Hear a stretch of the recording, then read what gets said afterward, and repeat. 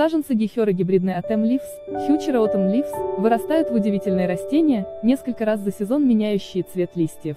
Размеры кустика 33-35 см в высоту и 25-30 см в ширину. Листья красивой формы меняют окраску от пурпурного к коричневому, затем темнеют и в конце становятся ярко-рубиновыми. Во время цветения выпускает цветонос длиной около 40-45 см, с небольшими белыми цветочками.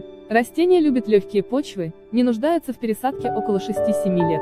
Оптимально высаживать растения в легкой полутени. На ярком солнце растение выгорает, в тени не будет достигнута интенсивная окраска. Гихера гибридная Leaves это многолетнее растение высотой 35 см. Цветок лучше всего подходит для одиночных посадок, групповых посадок, миксбордеров и может достигать до 30 см в диаметре. Гехера прекрасно используется подавляющим числом садоводов во всем мире для обогащенных почв. По типу ствола гехера гибридная Atem Leaves можно отнести к группе кустарники. Тип роста этого симпатичного растения – среднерослый. В качестве места выращивания гехера прекрасно подходит открытый грунт. Расцветает гехера гибридная Atem Leaves в месяц июль. Цветок окрашен в белый цвет. Лист этого прекрасного растения по форме клиновидный.